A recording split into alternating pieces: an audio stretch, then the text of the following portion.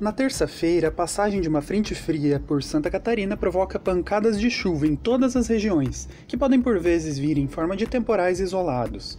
A presença de um ciclone extratropical no oceano deixa o mar muito agitado e traz chance para ressaca entre o litoral sul e a Grande Florianópolis. Este sistema também provoca rajadas de vento fortes e persistentes em todo o litoral catarinense. O risco é moderado a alto para ocorrências associadas à agitação marítima e ressaca, e moderado para os ventos intensos na costa. No amanhecer, as temperaturas ficam entre 14 e 16 graus nos planaltos e meio-oeste.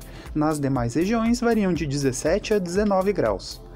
As temperaturas no período da tarde variam consideravelmente entre as regiões do estado, por conta do posicionamento da frente fria. No litoral sul, com os ventos soprando do quadrante sul, as máximas não passam dos 18 graus. Já no Planalto Norte, onde o ambiente ainda é pré-frontal, as temperaturas chegam aos 28 graus. Na quarta-feira, um sistema de alta pressão atmosférica deixa o dia com predomínio do sol e poucas nuvens na metade oeste do estado.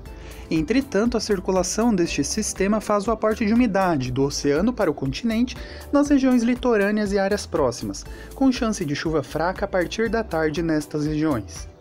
O mar segue muito agitado e com ressaca, mantendo seu risco moderado a alto para ocorrências associadas.